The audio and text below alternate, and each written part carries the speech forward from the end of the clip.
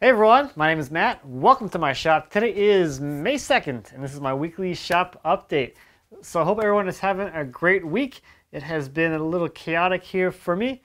I'm going to be uh, heading out to the UK this evening, and uh, between my trip to the UK and then following that, I'll be back for like two days, and then I'm going to Weekend with Wood.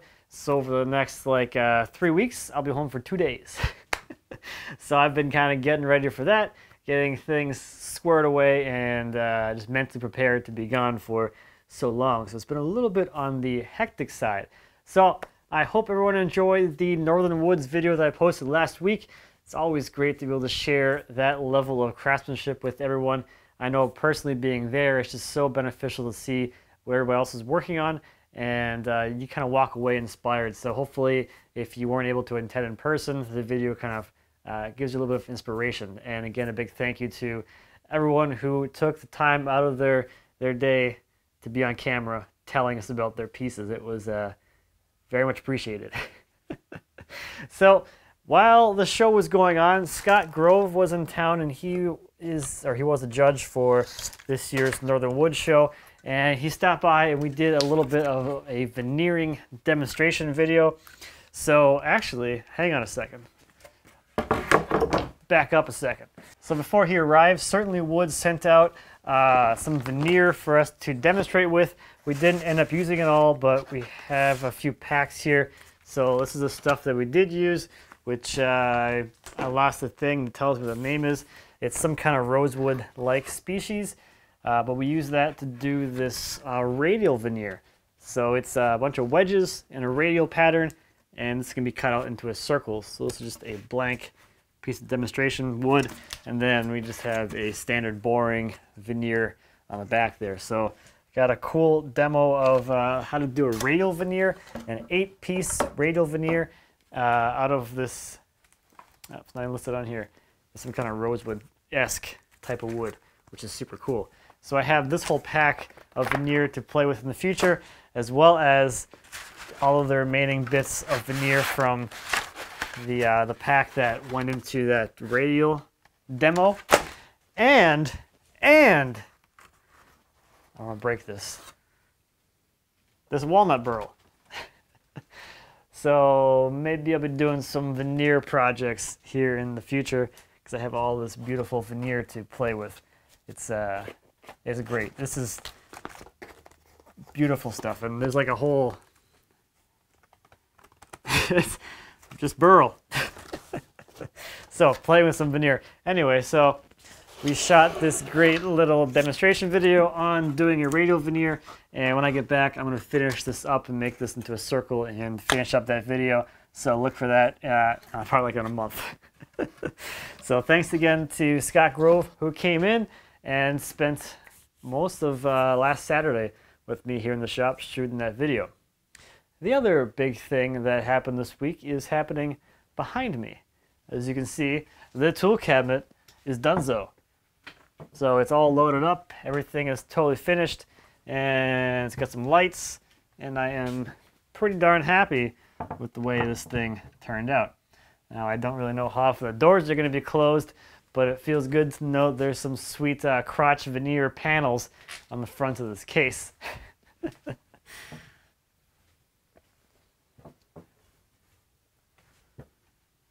so now I have a way to store and organize all my planes and the two tills, I think, look pretty darn awesome. They're a good central focal point of the whole case. And we got plenty of other little nooks and crannies to store things in. Uh, the saw till is really nice. You can just grab a saw, pull it out, get to work and do whatever you want to do. Uh, I've got drawers for storage of small stuff. And these double doors, I think, are going to work out really nicely. I still have a lot of real estate and uh, and all that stuff. So there's still some room on my primary area. So this is where I have all the things I use the most often. And then on the interior of the doors are all my secondary things, which I don't really use very often. So this is all stuff that might only come out once in a while. But for any project that I'll be doing, it's going to be pretty much anything on the inner doors is going to be used for every project. On this side, I have even more free space for future stuff. So I have all this room here as well as most of this panel as well. So that's the way I plan for future growth is to just leave a lot of extra space and make the cabinet bigger than it really needs to be. and also as I was laying this thing out, I didn't really want things to be super cluttered and packed really close together. I really wanted things to have a little bit of breathing room around them. And I didn't want the whole cabinet to be this like uh, practice in how much stuff can I cram into as small a space as possible type of operation. So having a little breathing room around things makes it a lot easier to actually get the tools in and out and just feels less restricted and cluttered. So maybe someday I'll get to that point when I have twice as many tools as I have now, but I don't know. I'm not, I highly doubt I'm going to have that many tools, which we'll see, but I think I'll be good for uh, quite a long time. So this thing is all done over in the guild. I posted the last video this week. So that is 18 instructional videos as well as the plans on how to make this cabinet that uh, you can check out if you want to. I will be editing the uh, overview summary video thing. That'll be when I get back because, uh, yeah, I haven't had time to work on that yet. so I think that's all I've been up to this week. Let's take a look at some viewer projects. First this week is an epoxy river desk by Al. The base is made from walnut and walnut plywood.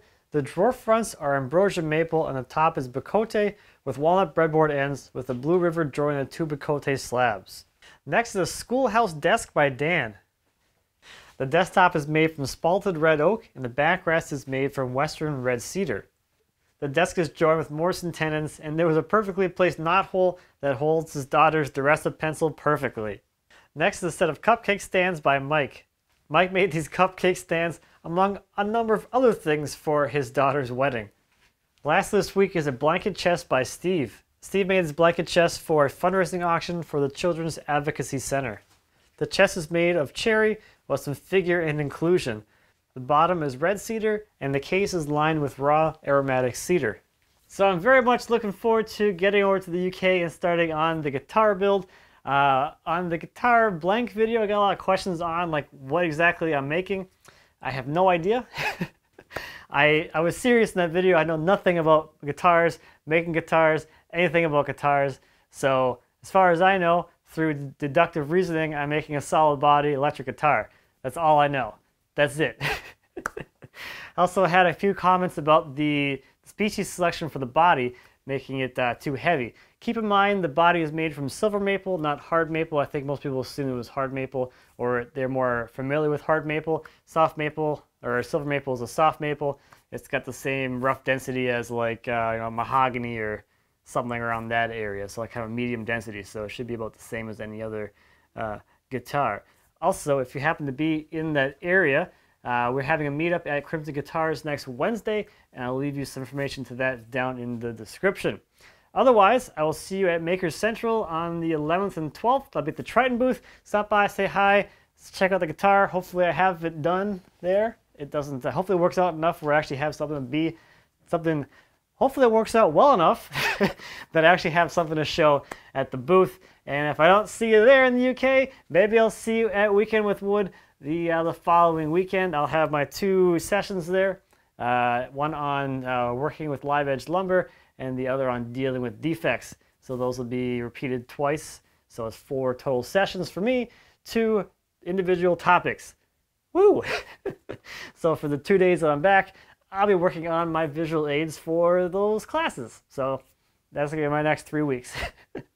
I have no idea uh, what's gonna be happening for three weeks.